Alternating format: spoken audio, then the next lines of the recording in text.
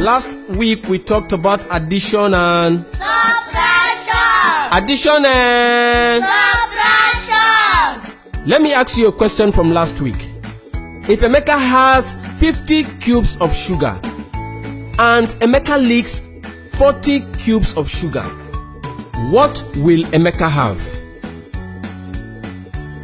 Uncle I, Cynthia, uncle, if Emeka leaks 40 cubes of sugar, Emeka will have diabetes.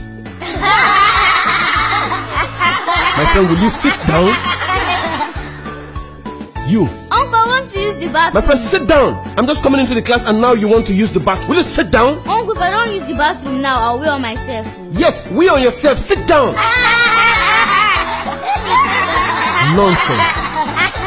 If you like, don't pay attention.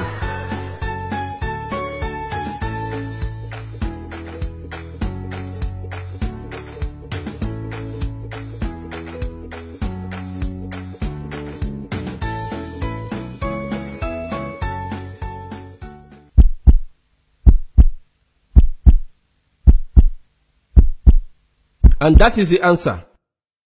Do you all understand? Do you all understand? I assume you all understand. What? I don't understand from there. From where? From the beginning. What don't you understand here? What don't you understand here? This is x. x has cancelled x and x has cancelled x. 1x equals to 2x and 1 is equals to 2. So what don't you understand? I understand. Sit down. What? What? Uncle, I don't understand. From where don't you understand? From where? From last pen.